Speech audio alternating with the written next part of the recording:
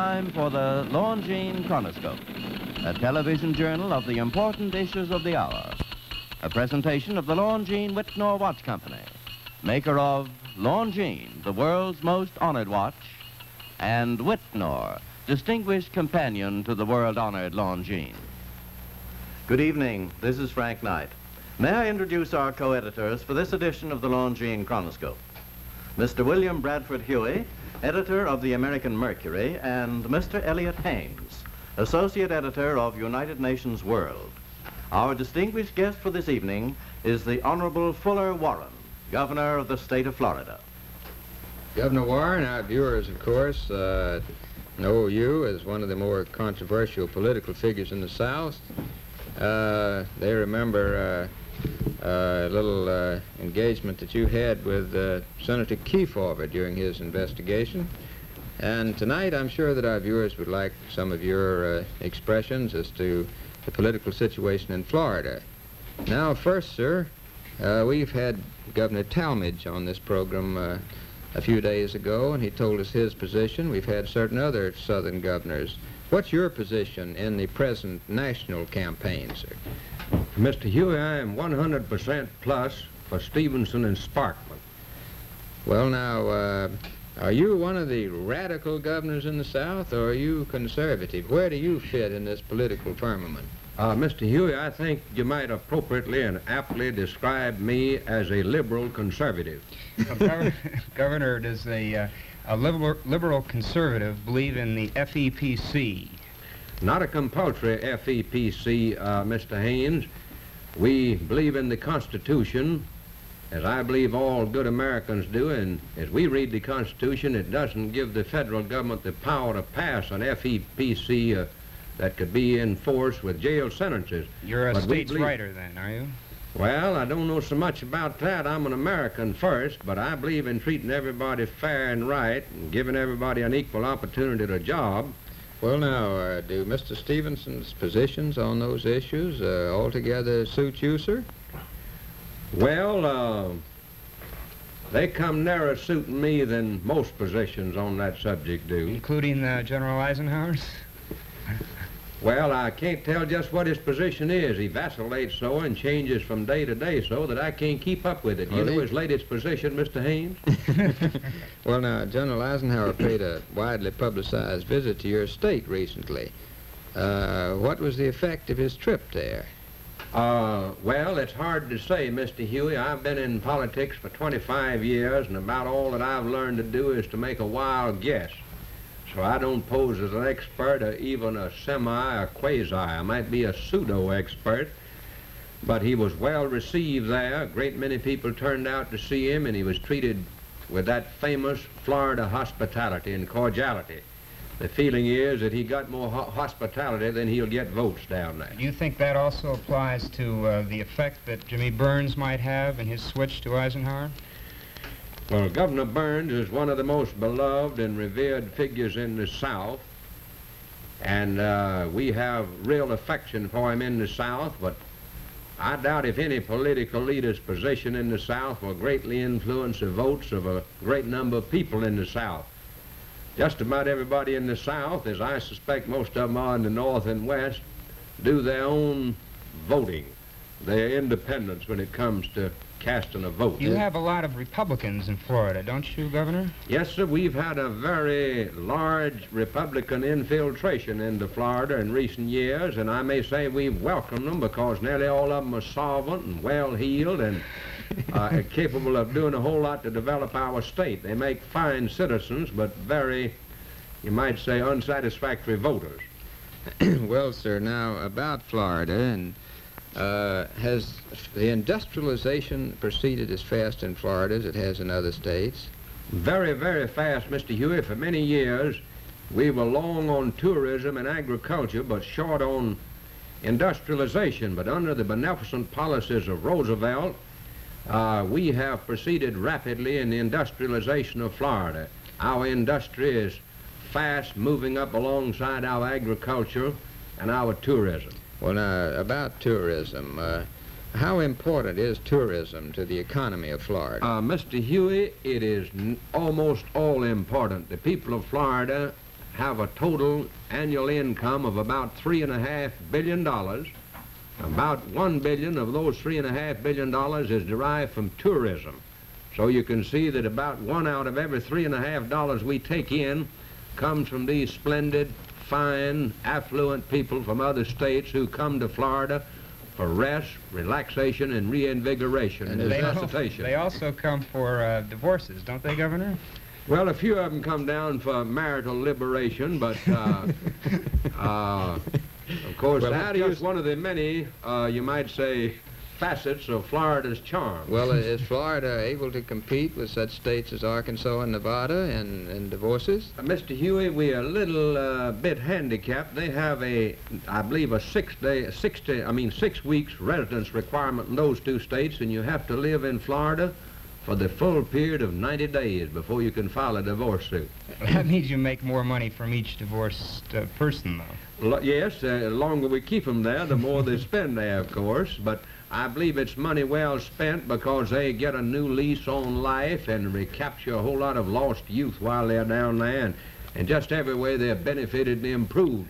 It's the nearest thing to going to paradise that can be achieved without dying, Mr. Gambling, uh, is gambling included in, that in that, Governor? No, sir, we have suppressed gambling in Florida almost completely. For more than 50 years, it had operated just about as openly there as uh, filling stations. But in the last three or four years, we have just about suppressed illegal gambling. We have uh, gambling, uh, parimutuel gambling at the horse tracks, the dog tracks, and at jai alai. But in Florida now, uh, you run a serious risk if you get in a dice game or a card game where there's any money on it. You Well, wouldn't now- say that the Senator Kefauver was responsible for that change, would you? Uh, he came down there and did a lot of shouting and hollering and screaming and bellowing about it after we had uh, made a good start towards suppressing it. Uh, he is, was using a special Senate committee for the purpose of promoting himself for president, and he just came down, got a lot of headlines, and did a lot of tub thumping and uh, Wow. noise making down there, Mr. Haynes. Well, I was it was Senator Kefauver, I believe, uh, charged that uh, some of those people around Miami were good friends of yours who were involved in that gambling. Uh, Mr. Huie, a man who runs for office is a good friend to everybody and let him be a good friend to him.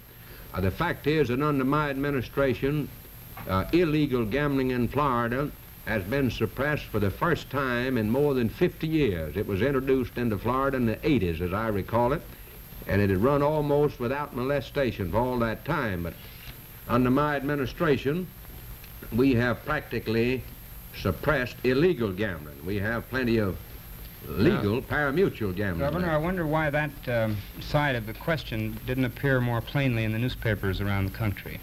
Well, uh, Senator Kefauver and his accomplices were seeing that it didn't. They were bringing out what evidence they wanted to bring out and suppressing what evidence they didn't want to come out. He was running for president. He was not uh, making a bona fide investigation, Mr. Haynes. Now, sir, since uh, tourism, to come back to that subject, since tourists uh, contribute about one-third of the total income of Florida, uh, is one of your uh, pleasures and uh, duties perhaps to uh, invite people there? Have you been on a tour, for instance? Yes, sir. I have just covered 10 of the finest of the 48 states, with the sole exception of Florida, which of course stands at the top of the list by any standard or measurement. But I have just come back from a tour of those 10 states, inviting everybody in those states who hasn't already been to Florida to come, and those who've already been there to come back. And I should at this time like to invite every person who is honoring us by listening in or looking in on this program, and I understand it's one of the most popular programs in the Western world. I should like to invite every one of them to come to Florida. We have about five million annual visitors to Florida, but we've got room for plenty more down there. Governor, just uh, how many days in the year does the sun shine in Florida?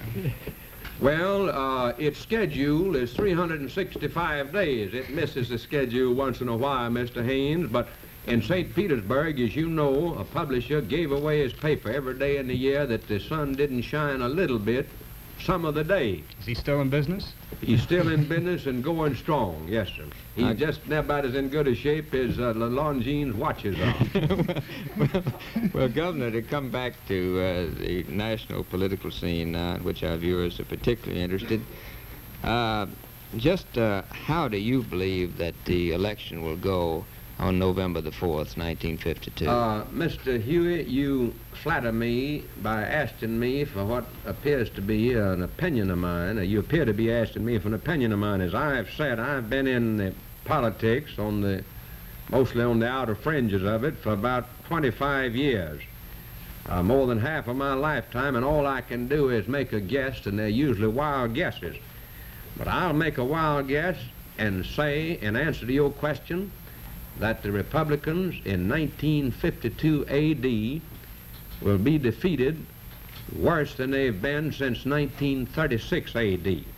Yeah. remember they carried two states then. You think Florida will be in the Democratic column? Yes, sir, I do, and I'd like to give you, Mr. Haynes, a few of my reasons for believing that.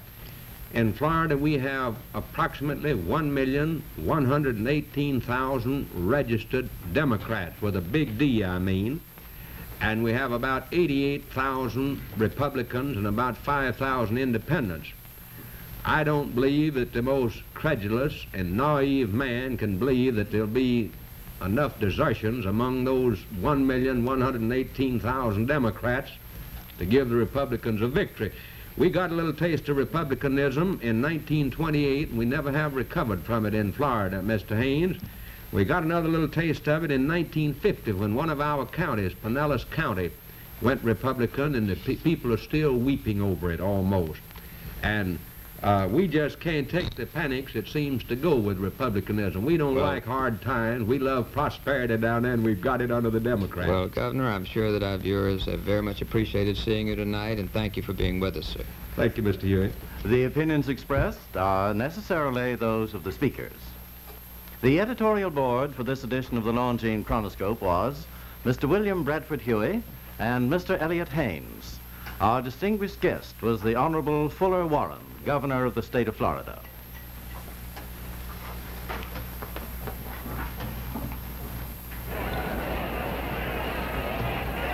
It's World Series time again, the best days of the year for baseball fans. And this year again, the World Series is Longines time. Yes, all the umpires of both American and National Baseball Leagues use Longines watches exclusively for timing all the games, including the World Series. Truly, the most honored watch in the world of sport is Longines, the world's most honored watch. The only watch in history ever to win 10 World's Fair grand prizes, 28 gold medals, and so many honors for accuracy in fields of precise timing. That is why, throughout the world, no other name on a watch carries the prestige of Longines, the world's most honored watch in sport. The watch of first choice with discriminating people the world over. And yet, do you know that you may buy and own or proudly give a Longines watch for as little as 7150? Longines, the world's most honored watch. Premier product of the Longines Wittnauer Watch Company since 1866. Maker of watches of the highest character.